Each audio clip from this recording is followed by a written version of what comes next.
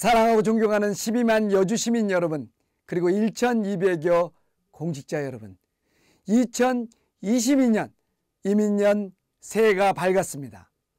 새의 맑은 기운을 담아 건강과 행복을 기원합니다.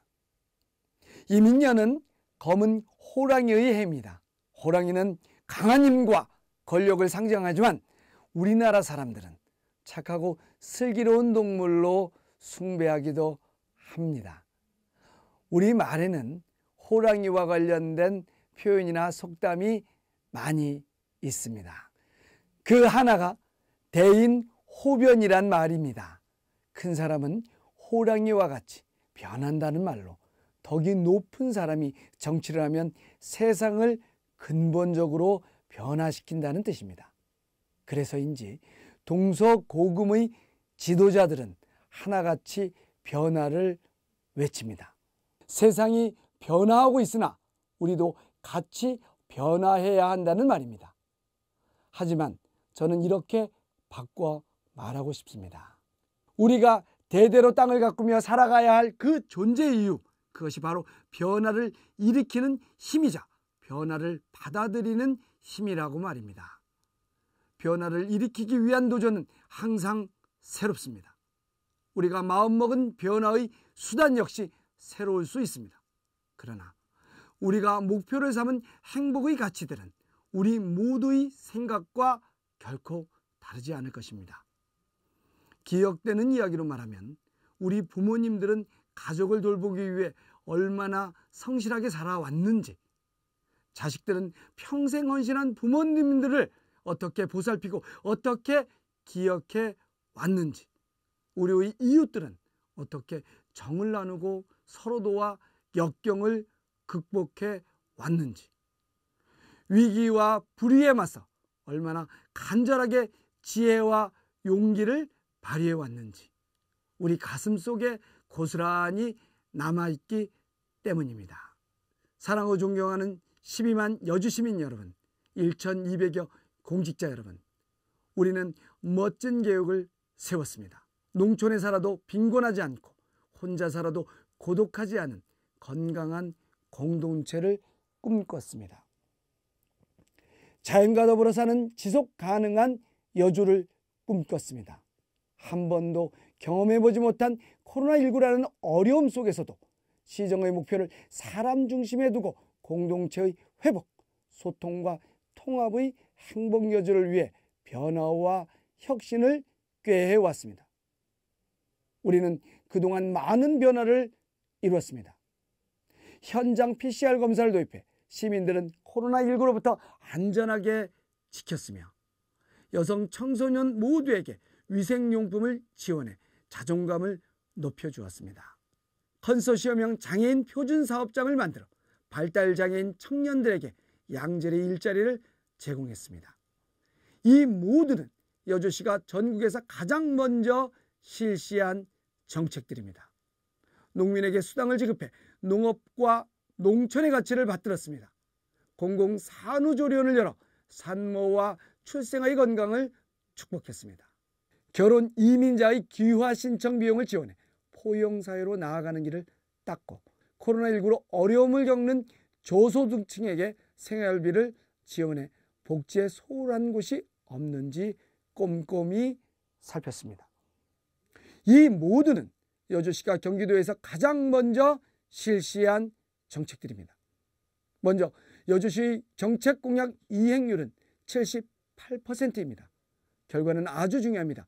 계획이란 결과에 대한 책임을 포함합니다. 하지만 이것이 우리가 말하던 변화의 전부는 아닙니다. 우리 삶을 변화시킬 여러 과제들은 현재 진행형이거나 계획 단계에 있습니다. 먼저 여주시가 실시하고 있는 코로나19 현장 검사에 대해 말씀드리겠습니다. 여주시는 지난 1년 동안 코로나19 현장 검사 시스템을 운영해 오면서 눈에 띄는 성과를 달성할 수 있었습니다.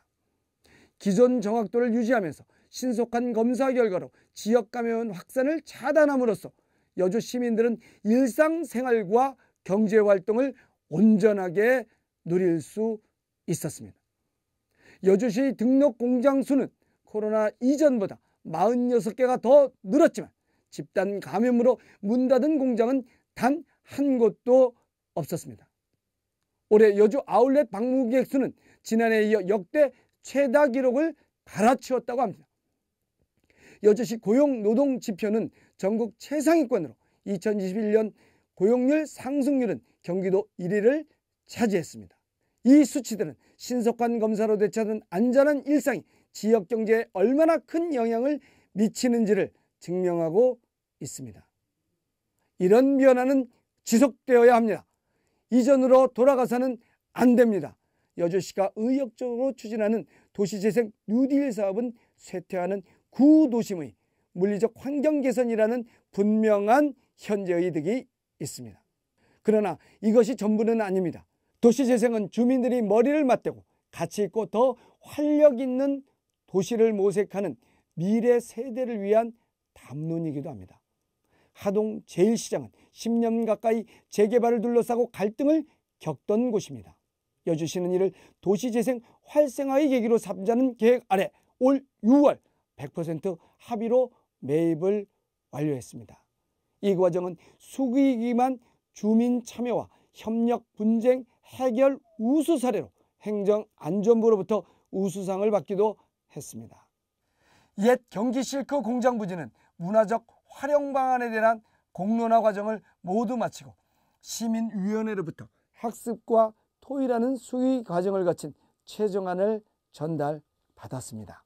공론화는 개발 시대의 일방적이고 형식적인 의견 수렴 절차인 공청회와 다릅니다. 주민들 스스로 정책을 구상하고 제안하는 수기 민주주의의 대표적인 수단입니다. 이번 경험은 앞으로 여주 시민들의 소중한 자산으로 축적될 것입니다. 반갑게도 이 두 사업은 지난 연말에 2022년도 국토교통부 도시재생 뉴딜 사업으로 선정되어 국비 180억 원을 확보했습니다. 애써주신 모든 분들께 감사드립니다. 남한강을 가로지르는 인도교인 출렁다리와 문화예술교는 친수기반형 도시재생벨트 조성의 상징적인 사업입니다. 신륵사 관광지구와 금은모래지구를 연결하는 출렁다리 사업은 도비 94억 원을 확보하여 올 준공을 목표로 공사 중에 있습니다. 구도심과 신도시민 오악동을 연결하는 문화예술교는 여주 시민의 과반이 넘는 지지를 받았으며 경기도 정책 공모를 통해 이미 60여 원을 확보한 상태입니다. 이 사업이 완료되면 구도심과 신시가지의 통합은 물론 도시 발전의 기폭제가 될 것입니다. 이 두 인도교 사이에서 아름다운 자연경관으로 우리의 눈길을 사로잡곤 하는 강변 둔추의 현암지구에는 여주 시민들이 쾌적하게 즐길 수 있는 시민공원을 조성할 계획입니다. 이런 변화는 지속되어야 합니다. 이전으로 돌아가서는 안 됩니다. 여주를 수도권 광역 철도망과 연결하자는 우리의 요구는 충분히 전달되어 이제는 중앙정부의 결단만 남은 상태입니다. GTX-A와 수서 광주선 접속부 설치를 관철시키기 위해 마지막까지 최선을 다하겠습니다. 수도권 광역 철도망과의 연결은 탄소 중립 실현은 물론 지역 간 불균형과 불공정을 해소하고 수도권 내 균형 발전을 촉진할 것입니다. 여주 시민들이 보여준 뜨거운 성원에 감사드립니다. 더 나은 일자리를 만들어 지역 경제를 활성화하겠다는 목표는 점차 가시화되고 있습니다. 남여주 IC 대형 물류단지, 여주 물류단지, 가남 일반 산업단지, 북내 일반 산업단지, 남여주 일반 산업단지 조성 등 여주를 신흥 산업단지 거점 도시로 육성해 자적 도시로서의 기능을 강화해 나가겠습니다. 시정에 대한 시민들의 관심을 일깨워 의견을 묻고 시민들이 참여할 수 있는 기회를 확대하는 것은 우리 여주시의 공동 이익을 위한 가장 확실한 길입니다. 아침마다 시장이 직접 마을 곳곳을 방문해 주민들의 여론을 듣는 동네 한 바퀴 시민을 중심에 둔 행정을 펼치자는 취지로 추진한 여주 시민행복위원회, 기자의 시각으로 시정을 살펴보는 여주 시민 기자단을 지속적으로 운영함으로써 시민들의 참여를 확대해 나가고 있습니다. 이런 변화는 지속되어야 합니다. 이전으로 돌아가서는 안 됩니다. 그러나 우리의 꿈이 현실의 벽에 가로막힐 것을 우려하는 분들이 있습니다. 우리의 여력이 그 벅찬 계획을 뒷받침하지 못할 것을 걱정하는 분들이 있습니다. 현장 PCR 검사에 대한 의견이 다를 수 있습니다. 그러나 비용이 든다는 이유로 여주 시민들은 코로나의 위협으로부터 방치해서는 안 된다는 데에는 동의할 수 있어야 합니다. 문화예술교에 관한 의견은 다를 수 있습니다. 그러나 여주 어머니 같은 탁 트인 남한강을 굽어보며 가족과 함께 저녁과 주말을 즐길 수 있는 친수 공간을 만들어주자는 데에는 동의할 수 있어야 합니다. 도시 재생에 대한 의견은 다를 수 있습니다.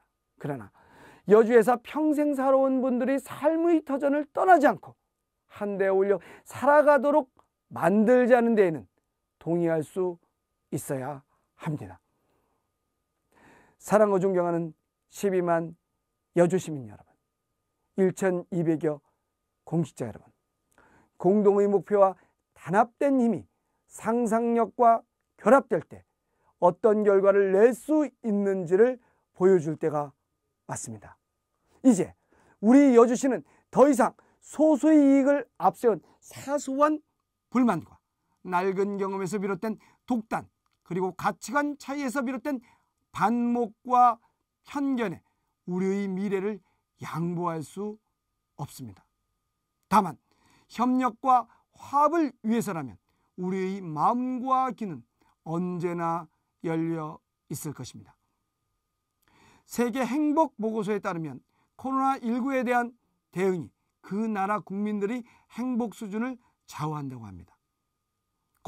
곧 행복한 사회란 좋은 선례를 받아들일 준비가 돼 있는 사회, 신속하고 적절한 행동을 취할 수 있는 정치 리더십이 있는 사회, 그리고 신뢰와 다양성이 있는 사회라고 합니다. 사랑하고 존경하는 12만 여주 시민 여러분, 1,200여 공직자 여러분, 여주라는 이 오래된 삶의 터전에서 새해 첫날에 새로운 마음가짐으로 새로운 계획을 세우고 서로의 행복을 기원하며 서로 눈을 마주 볼 수 있다는 것은 삶이 우리에게 준 기쁨이자 축복입니다. 이 축복을 더 나은 내일을 위한 희망으로 바꾸어 나갑시다. 이민년 검은 호랑이의 기상을 12만 여주 시민의 뜻으로 받들어 사람 중심 행복 여주를 함께 만들어 갑시다. 고맙습니다.